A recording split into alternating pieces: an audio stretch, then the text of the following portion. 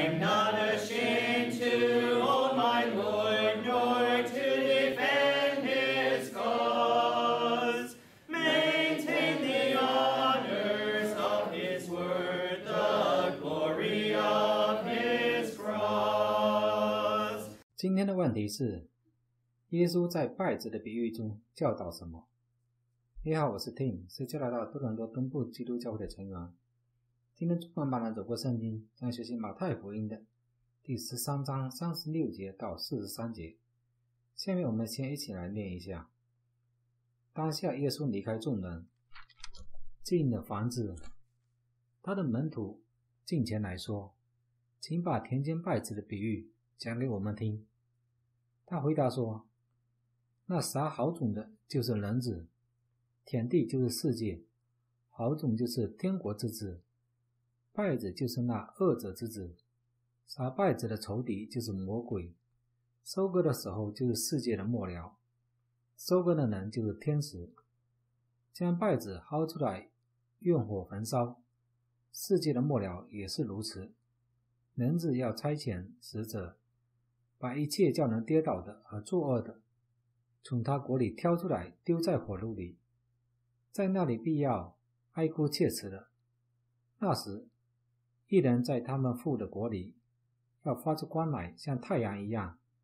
有耳可听的，就应当听。那么，在前两节当中，我们学习的耶稣关于稗子的比喻，在那个比喻当中，耶稣描述了一个播种者出去播种小麦，那么在夜里，他的仇敌来到小麦田中播下稗子。那么稗子与小麦一起长大了。当他的仆人问他是否要想让他们去把那些稗子薅掉的时候，主人回答说：“不用，因为这样做也会损坏那些小麦。”他说：“在收割的时候，会让收割者收集稗子并烧掉它们，然后将小小麦收割在他的谷仓里。”那么耶稣的许多比喻。比如，就像我们在上一集中的那两个，我们不会得到耶稣的亲自的解释，即使我们能从经文中看出他讲的是什么。然而，正如前面的播种的比喻当中一样，我们在这里有关于稗子的耶稣亲自的解释。那么，在稗子的比喻中，播种者是人子，就是耶稣。当时的耶稣正向人们讲述即将来临的国度。教导能够拯救那些听到他的人的灵魂。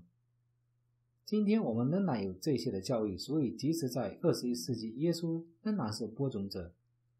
那么田地就是这个世界，意味着是整个的世界。耶稣的信息并不仅仅限于那些愿意服从的人，这一点对我们稍后谈到的东西很重要。那么耶稣在升入天堂之前，告诉他的使徒们。他们要到世界各地去传福音，那么我们不应该试图将福音的影响局限在我们认为那些会遵守的人的身上，而是尽可能的去扩散它。那么好种子就是王国的孩子，我们称之为基督徒。那么这与撒种的比喻不同，因为在撒种的比喻中，种子是上帝的话语，土壤或者田地是人们的心。因此，即使这些比喻使用着相似的语言，但它们的含义也是不同的。败子在这里是邪恶的孩子，就是魔鬼，是那一些从未成为基督徒的人。在今天，很多人认为，如果他们只要是自己眼中认为的好人，或者仅仅是一个宗教人士，无论他的宗教信仰如何，上帝都会接受他们。但是我们要记住的是，《马太福音》第七章二十一节是这么说的：“他说，凡称呼凡称呼我主啊主啊的人，不能都进天国；唯独遵行我天父旨意的人，才能进去。我们必须要遵行天父的意志，通过相信、悔改和受洗为罪的赦免而成为基督徒，或者因我们。”从来都不是基督徒，而成为是魔鬼的孩子。那么播下败子的仇敌就是魔鬼。在经文当中，魔鬼总是被描述成是我们的敌人，但是他很多的时候看起来像是我们的朋友。他甚至说他就是我们的朋友，当然他不是，他是我们的敌人。那么收割的时候就是世界的末了，耶稣在审判中将回来。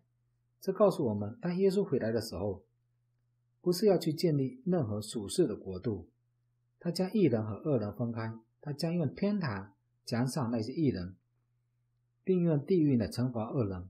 收割者是天使，上帝的传道人，他将一人和二人分开。实际上，这个比喻是关于审判的比喻。最后有一些人会是正义的，当败者被移除时，他们就会闪耀出来，他们跟随上帝并得到奖赏。但也会有邪恶的败子被收集起来扔在炉子、火湖或者地狱中，因为他们不服从上帝。那么在今天的结束之前，我们要再强调一点的是，有一些人他喜欢从这个比喻中教导说。教会在这个世界上是否保持纯洁是无关紧要的，因为上帝会在审判时将一人与二人分开。但是我们要注意到的是，这个预言中的田地是什么呢？它不是指的是教会，它是指整个的世界。那么有许多的地方，比如说哥林多前书第五章教导我们，作为一个地方的教会，必须把那些选择生活在最终的人分开出来。我们这样做是为了让他们能够悔改并得救。世界也是如此，因为基督已经将好人播种到这个世界来教导那些迷失的人，使他们能够得救。我们不与罪人交战，我们试图通过教导他们福音来拯救他们。我们不要滥用耶稣的比喻，并且曲解他的意思，而是让我们有耳朵去听他所告诉我们的真正的。那些含义。好，今天我们的学习就先到这里了，我们就在明天继续接下来的学习。希望大家能够到此加入我们，再见。I'm not ashamed.